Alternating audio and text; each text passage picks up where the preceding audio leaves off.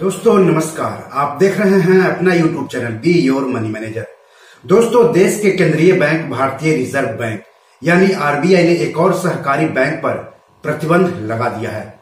तो यह बैंक कौन सा है और उस बैंक के ग्राहकों को अब किस तरह से परेशानी का सामना करना पड़ेगा, ये सब हम इस एपिसोड में आगे आपको बताएँगे। लेकिन सबसे पहले मैं आप सबसे गुजारिश करता हूँ कि अगर अभी तक आपने इस यूट्यूब चैनल को सब्सक्राइब नहीं किया है तो जल्दी से कर ले।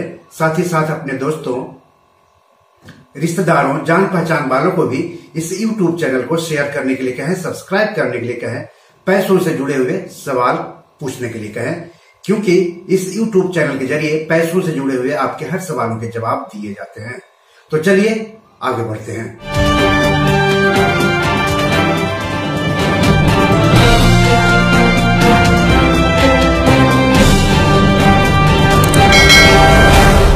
तो आरबीआई ने महाराष्ट्र के कोल्हापुर ज़िले के इच्चल करंजी स्थित शंकर राव पुजारी नूतन नागरिक सहकारी बैंक पर 13 मई 2022 के कारोबार की समाप्ति से अगले आदेश तक प्रतिबंध लगा दिया है।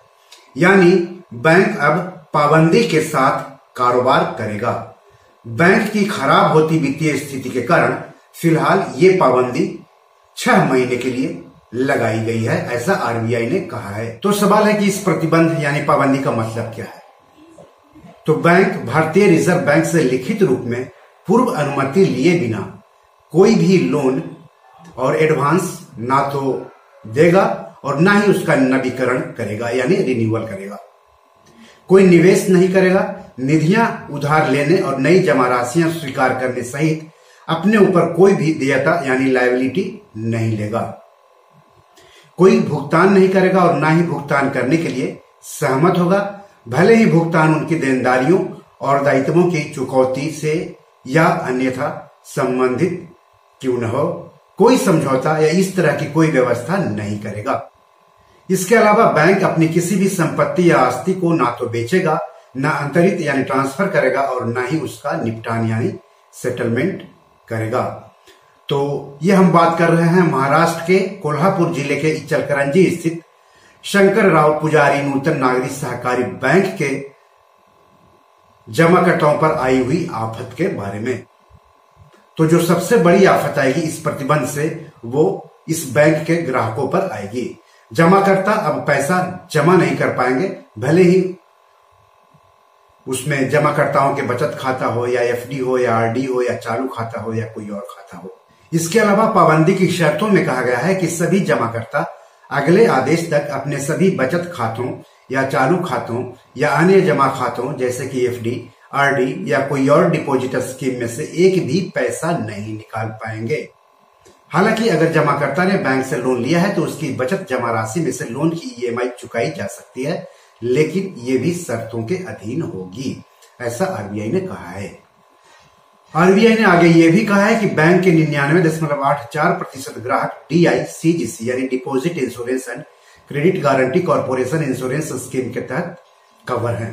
इस स्कीम के तहत पाँच लाख रुपए तक की जमा राशि का बीमा किया जाता है इसका मतलब हुआ कि बैंक का लाइसेंस रद्द होने की स्थिति में ग्राहकों को उनके पाँच लाख रुपए तक वापस मिलने की उम्मीद रहती है। लेकिन जिन ग्राहकों का जमा पैसा पाँच लाख रुपए से ज़्यादा है, उनको केवल पाँच लाख रुपए ही दिया जाता है। बाकी पैसा डूब जाता है। आरबीआई की तरफ़ से दिए आंकड़े के अनुसार, इस बैंक में पाँच लाख रुपए से ज़्यादा जमा वाले ग्राहक कम है, लेकिन जो भी है, उनका पाँच लाख रुपए से ज़्यादा जमा पैसा डूब जाएगा। यानी, अगर आपका पाँच लाख पचास हज़ार रुपया जमा है तो पचास हज़ार रुपये आपका डूब जाएगा अगर बैंक का लाइसेंस रद्द कर दिया जाता है, बैंक पर तालाबंदी कर दी जाती है। तब हम आपको बता रहे हैं शंकर राव पुजारी नूतन नागरिक सहकारी बैंक पर आरबीआई द्वारा लगाई गई पाबंदी के बारे में। हालाँकि शंकर राव पुजारी नूतन नागरिक सहकारी बैंक पर प्रतिबंध लगाते हुए आरबीआई ने यह भी साफ़ कर दिया है कि उपरोक्त निर्देशों का मतलब भारतीय रिज़र्व बैंक द्वारा बैंक का लाइसेंस निरस्त करना नहीं है। बैंक अपनी वित्तीय स्थिति में सुधार होने तक प्रतिबंध के साथ बैंकिंग कारोबार करना जारी रखेगा। रिज़र्व बैंक परिस्थितियों के आधार पर इन निदेशों में संशोधन करने पर विचार कर सकता है। फ़िलहाल ये निदेश 13 मई 2022 को कारोबार की समाप्ति से छह महीने की अवधि के लिए लागू रहेंगे और समीक्षाधीन रहेंगे। रिज़र्व बैंक के दिनांक 13 मई 2022 के इस निदेश की प्रति बैंक परिसर में प्रदर्शित की गई है। तो आप अपने बैंक में भी जाकर ये निर्देश देख सकते हैं या फिर अपने बैंक में जाकर संबंधित अधिकारी से इस बारे में विस्तार से बात कर सकते हैं।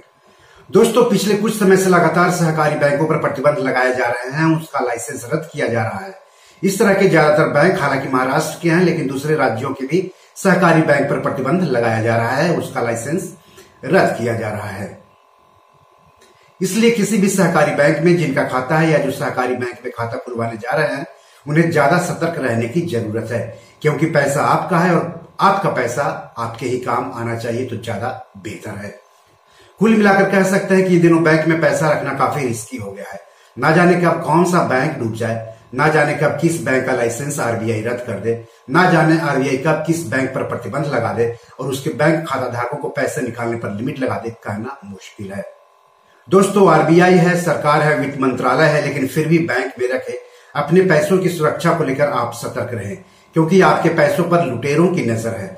कब कौन पैसा लूटकर भाग जाए कहना मुश्किल है। जब आपका पैसा लूट जाएगा तो पछताने के सिवाय आपके पास कोई विकल्प नहीं रहेगा। कई बैंकों या डीएचएफएल जैसी गैर बैंकिंग वित्तीय कंपनियों के जमाकर्ताओं के साथ ऐसा हो चुका है। इसलिए पैसा आपका है, उसकी सुरक्षा भी आप ही कीजिए। तो बी और मनी मैनेजर में आज इतना ही। धन्यवाद। नमस्कार।